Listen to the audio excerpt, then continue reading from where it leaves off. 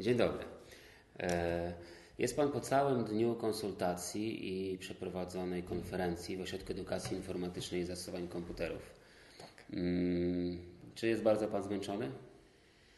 Zmęczony?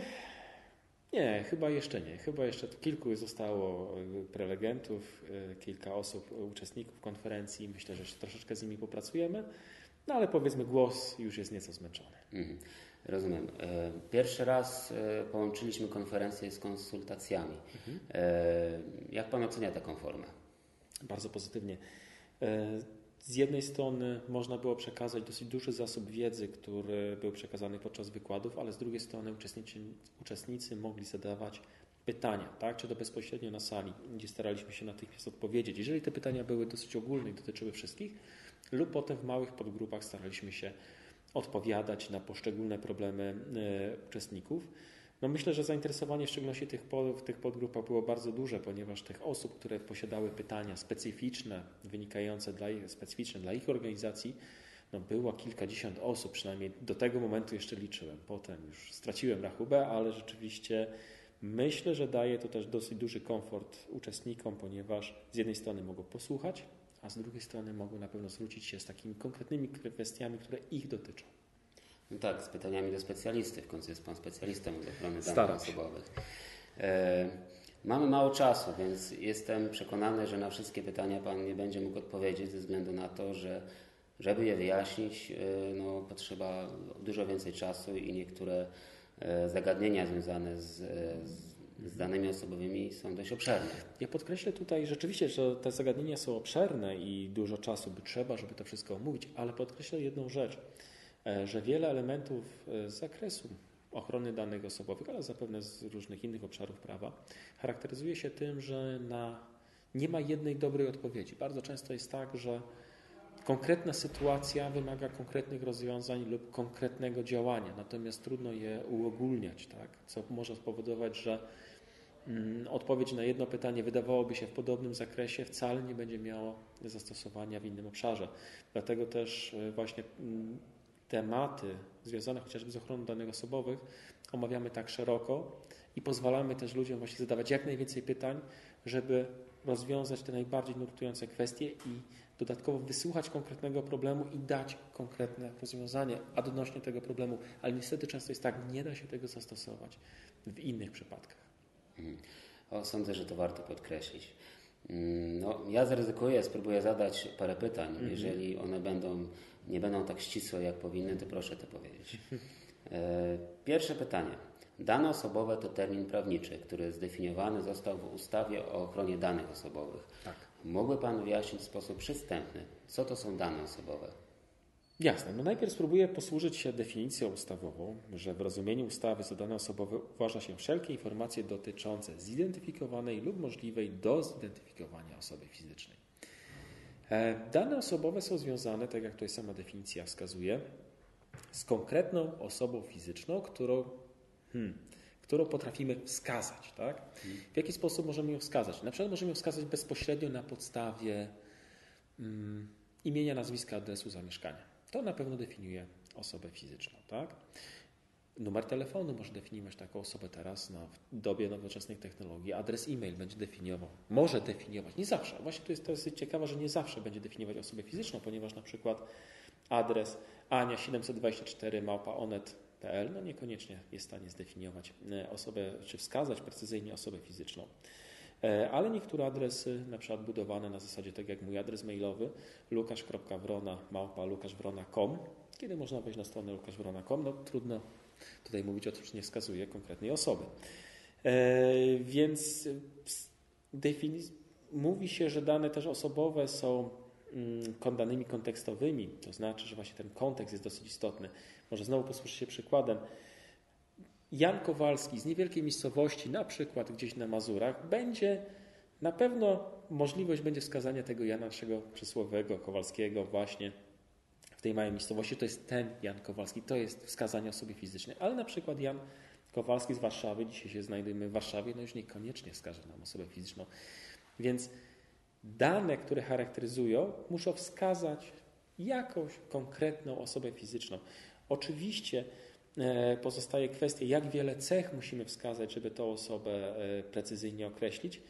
No ale w przypadkach takich, jak już tutaj podkreśliłem, czy to imię, nazwisko, adres, nie ma tutaj żadnych wątpliwości, ale na przykład może to być też ten sposób, że możemy się posługiwać różnymi innymi cechami, na przykład jak można mm, powołać się na jakiś numer identyfikacyjny, specyficzne cechy tej osoby, na przykład będzie to najbardziej mm, powiedzmy radosny członek czteroosobowej grupy tenisa stołowego ze szkoły podstawowej numer 17. Czy on wskaże osobę konkretnie fizyczną?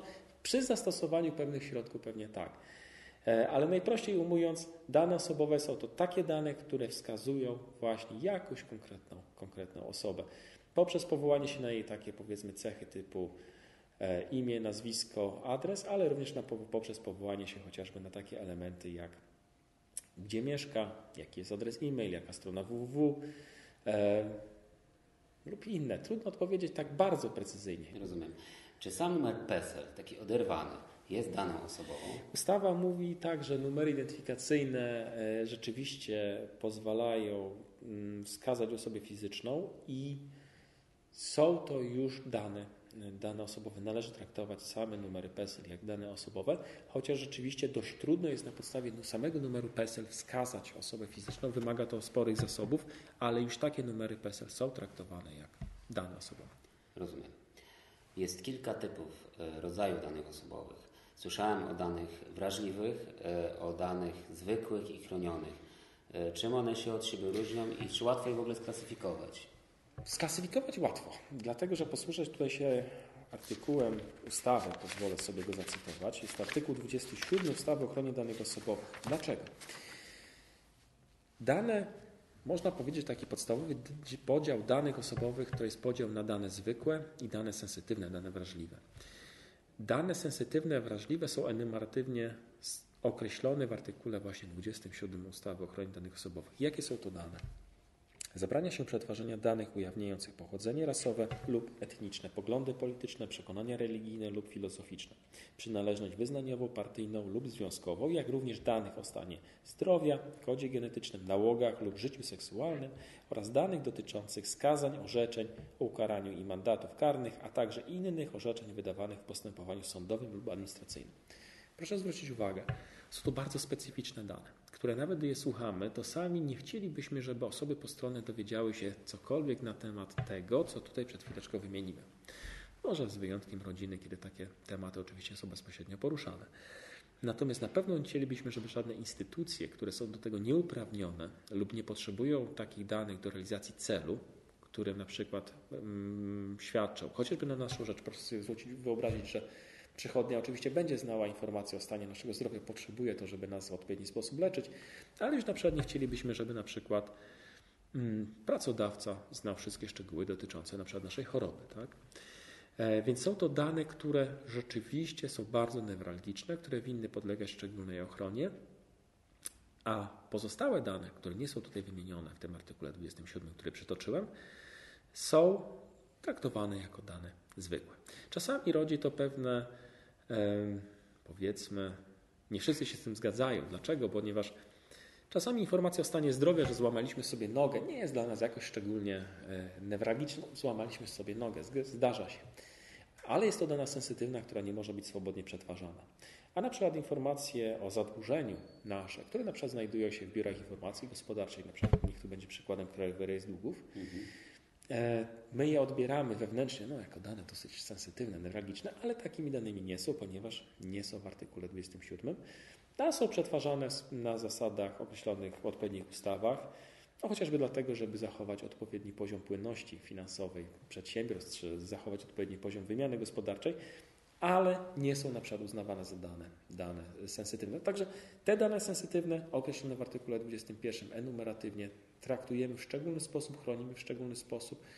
Ich proces rejestracji GIODO jest e, realizowany na szczególnych zasadach.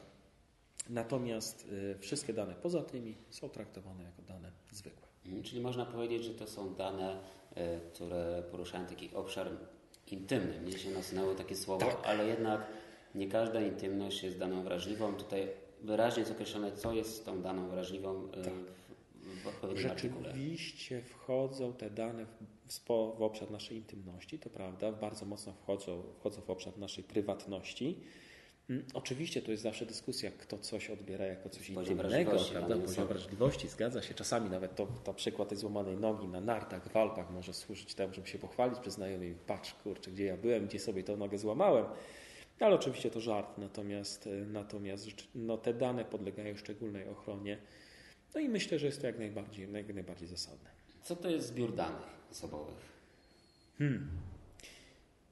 No cóż, jak to zwykle mogę spróbować zacząć od definicji, prawda? Proszę bardzo. Zbiór danych. Rozumie się przez to każdy posiadający strukturę zestaw danych o charakterze osobowym dostępnych według określonych kryteriów, niezależnie od tego, czy zestaw ten jest rozproszony lub podzielony funkcjonalnie. A tak po prostu zbiór danych. Jeżeli są to dokumenty w wersji papierowej, tak, jest to dokumentacja papierowa, która zawiera dane osobowe, musi to być dokumentacja poukładana według jakichś kryteriów lub kryterium. Tak? I wtedy mamy do czynienia ze zbiorem danych osobowych, przetwarzanym w formie tradycyjnej. A jeśli mamy do czynienia w wersji danymi, z, wers z danymi wersji elektronicznej, no tutaj jest o tyle taka sytuacja, że jest to niezależnie od tego, czy on jest poukładany według jakiegoś kryterium, ale znajduje się powiedzmy przetwarzany jest elektronicznie, no jest to zbiór danych osobowych. Dlaczego? Dlatego, że dla systemu informatycznego nie ma większego znaczenia, czy on jest, te dane są jakoś poukładane. On sobie to z tym doskonale poradzi, bez najmniejszego problemu poukłada to według dowolnego kryterium, jakie tylko mu narzucimy i nie będzie to żadnego problemu, więc natychmiast te dane będą układane w każdy możliwy sposób. Natomiast przy zbiorach papierowych wymagane jest to, żeby zbiory te rzeczywiście były poukładane według kryterium czy kryteriów. Natomiast też z drugiej strony trudno sobie wyobrazić zbiór danych osobowych, czy powiedzmy zbiór danych, ale nie pokładanych według jakichś kryteriów, na przykład mamy 60 regałów danych niepokładanych według kryteriów, no to w zasadzie rzecz biorąc to się nadaje tylko na makulaturę, bo niewiele da się z tym zrobić, a już o wyszukiwaniu jakichkolwiek informacji w zasadzie nie ma mowy. Mhm. E, no, jest to, przypuszczam, chodzi mi po głowie trudne pytanie. Ja je spróbuję zadać, Proszę e, choć e, pewnie będzie mała szansa, żeby udało się odpowiedzieć na nie w sposób właściwy w tak krótkiej formie, ale kiedy dane osobowe należy chronić? Prosta odpowiedź zawsze, tak? Mhm.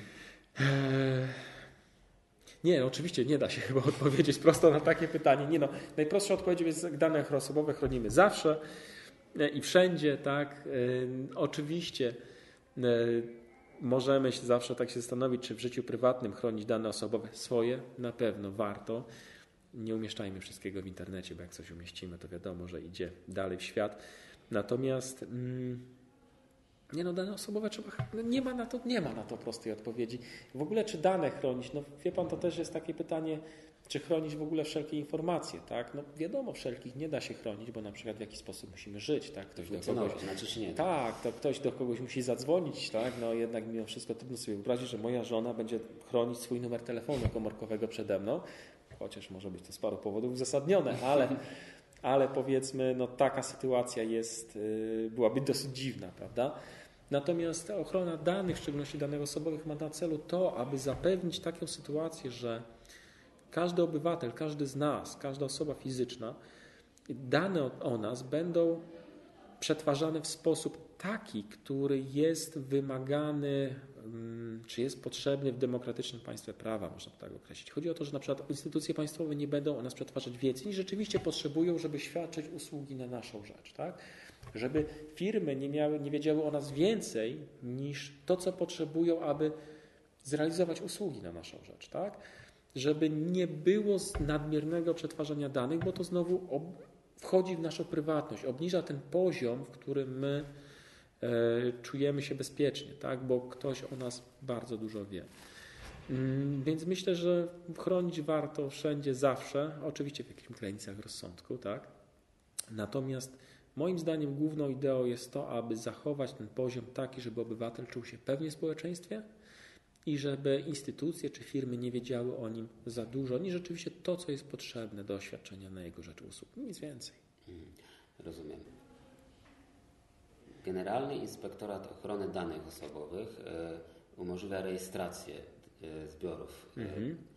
I teraz mm, przenieśmy się do takiej typowej sytuacji szkolnej. Zazwyczaj w szkole funkcjonuje kilka zbiorów e, danych osobowych. Tak. Już nieważne, czy one powinny być rejestrowane, czy nie, bo to jest za szeroki obszar do omówienia, ale pytanie jest, czy szkoła musi rejestrować każdy zbiór z osobna, czy może wszystkie naraz jako instytucja zgłosić do GIODO?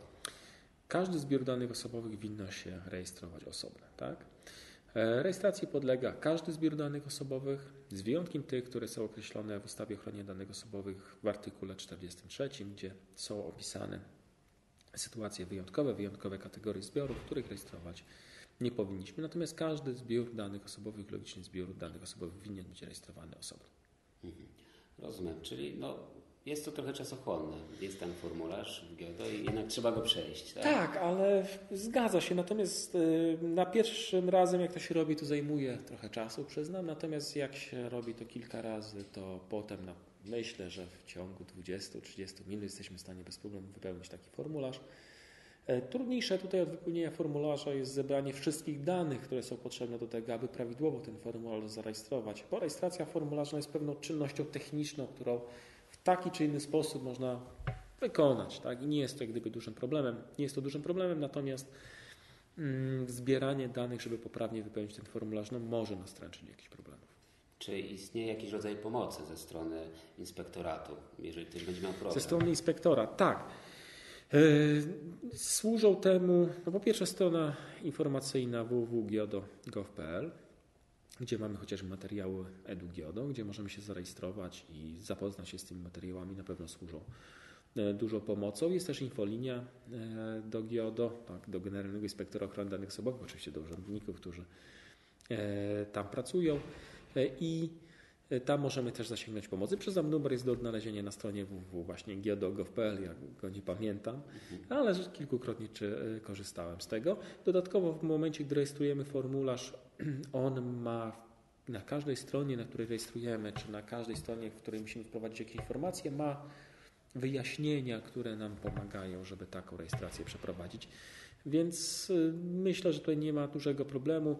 Poza tym też no, urzędnicy GIODO raczej są do tego, żeby nam pomagać, więc nie spotkałem się z sytuacjami takimi, że ktoś wypełnił błędnie formularz, to poniósł za to konsekwencje.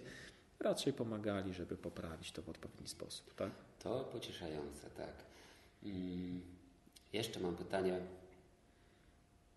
Czy rejestracja zbiorów danych osobowych y, jest obowiązkiem szkoły? To znaczy, czy to jest y, konieczne? Po prostu szkoła przetwarza dane osobowe, które podlegają ochronie? Tak. Po prostu musi, tak? Tak, tak. Te zbiory, które trzeba zarejestrować, należy zarejestrować. Jeśli się tego nie zrobi, podlega się karze grzywny, pozbawienia wolności wręcz do roku. E, Więc kara jest dosyć surowa, więc należy na pewno e, to zrobić. Podkreślę tylko jeszcze jedną rzecz na końcu, mianowicie, że chciałbym, ponieważ to rozmawiamy o rejestracji, natomiast chciałbym podkreślić jedną rzecz. Pamiętajmy o jednej sprawie, że mimo, że dany zbiór nie podlega rejestracji, to nie oznacza, że nie podlega ochronie czy innym wymogom ustawy, które właśnie mówią o tym, w jaki sposób dokumentować e, chociażby przetwarzanie danych osobowych w organizacji. Także to jak gdyby, żeby też słuchacze nie odnieśli wrażenia, że jak czegoś nie rejestrujemy, to oznacza, że chronić nie musimy. Nie. Po prostu tylko zwolnieni jesteśmy z obowiązku rejestracji. Samej rejestracji, wszystkie inne obowiązki dla nas pozostają. Czyli osoba tak naprawdę odpowiedzialna e, za dane osobowe w danej placówce, w tym wypadku jeśli chodzi o szkołę, no mimo wszystko powinna zapoznać się z tymi treściami, które znajdują się w, e, na stronie GIODO i Tak, więcej. tak, tak. Myślę, że to jest z jednej strony dobry początek, a z drugiej strony nawet te informacje, które tam są, w wielu wypadkach będą w zupełności wystarczające. Tak? Jest tam dosyć dużo dobrze opisanych treści, więc, e, więc warto się zapoznać, tym bardziej, że one są ogólnodostępne. Nie trzeba, nie trzeba tutaj jakiegoś specjalnie, specjalnego wysiłku, żeby się z nimi zapoznać. Oprócz tego, że trzeba poświęcić czas na przeczytanie. No ale, ale, ale jest to łatwe, tak? I można zrobić to przez internet, więc w zasadzie z każdego miejsca. Kto właściwie jest w szkole odpowiedzialny za dane osobowe? Wszyscy, którzy przetwarzają dane osobowe. Najprostsza odpowiedź. E, oczywiście dyrektor szkoły jest tą osobą, która winna zapewnić wszystkie środki tak, na to, żeby dane osobowe były przetwarzane. Powinna zapewnić, aby w organizacji takiej jak szkoła były spełnione wszystkie wymagania dotyczące ochrony danych osobowych, mm, bo on odpowiada za tą instytucję, tak? więc to jest ta najważniejsza osoba. Natomiast odpowiedzialni za przetwarzanie danych osobowych no są wszyscy, którzy te dane przetwarzają. Mhm. Co to znaczy, że wszyscy? To znaczy, że jeżeli okaże się, że ktoś e, postąpił, postąpił nieregulaminowo na przykład, mhm. E, niewłaściwie z danymi osobowymi, tak. to można taką osobę wskazać teraz wina, czy dyrektor odpowiada za, za całość placówki? Nie no, oczywiście. No, dyrektor może odpowiadać za to, że jeżeli popełnił jakieś niedociągnięcia w zakresie wdrażanych rozwiązań ochrony danych osobowych, no zapewne też poniesie odpowiedzialność.